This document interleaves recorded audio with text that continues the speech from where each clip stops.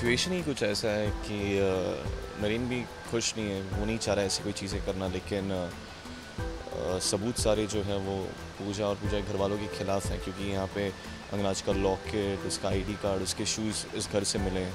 तो डेफिनेटली कोई ना कोई कनेक्शन है कि अंगराज की बॉडी शायद यहाँ है, लेकिन कोई कुछ जवाब नहीं दे पा रहा है। और ऊपर से नरीन इसे समझने की कोशिश भी बेनिफिट ऑफ़ डाउट देना भी चाहे तो भी उसका जो फैमिली से प्रेशर है, माँ ने इतने दिन से खाना नहीं खाया, वो इतनी बुरी हालत में खुद की जान देने की कोशिश करी है प्लस इतने घर पे सब टेंस्ड हैं तो he needs to stand for his family for his mother and everyone इसने, उसने यही ठान लिया कि जब तक मेरी, मेरे भाई की लाश नहीं मिल जाती, आपके घर के बेटे को अग्नि नहीं मिलेगी। डेफिनेटली क्योंकि अब पूजा अपनी जगह बिल्कुल सही है, बिल्कुल जस्टिफाइड है, उसका नाराज़ होना, उसका गुस्सा होना। बट इस वक्त नरीन भी इतना हेल्पलेस है कि वो चाहकर भी कुछ कर नहीं पा रहा। है और अभी यही देखना है कि इन दोनों की जो केमिस्ट्री है, जो प्यार है, वो इन सबसे जब गुजरते हैं तो किस मुकाम पर लाके खड़ा हो जाता है?